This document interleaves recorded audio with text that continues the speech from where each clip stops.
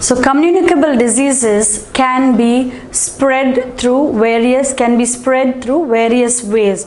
So first is through direct contact or through air. So when an infected person coughs or sneezes, then the germs either settle on their clothes or they spread in the air and a normal healthy person may contact this either by touching the infected clothes or through the air. So the next is through food and water. So is the germs spread through food and water. House flies fly over dirt and they carry many germs. And when these flies sit on the uncovered food, they contaminate or infect that food too. Sometimes the water supply has leaks through which the germs easily enter into the water supply.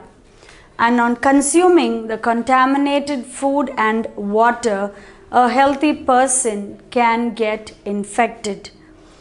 Cholera, jaundice, polio, typhoid and diarrhea spread through infected food and or water.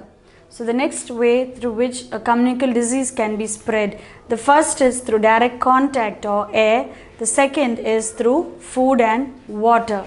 And mostly it is because of the insects that fly around. Example, the house flies, they fly over dirt and they carry the germs along with them. And when these flies that carry the germs sit on uncovered food, they contaminate or infect that food too. Sometimes you find that the water supply has leaks through which the germs easily enter into the water supply and on consuming this contaminated food and water a healthy person can get infected. Cholera, jaundice, typhoid, polio and diarrhea spread through infected food or water.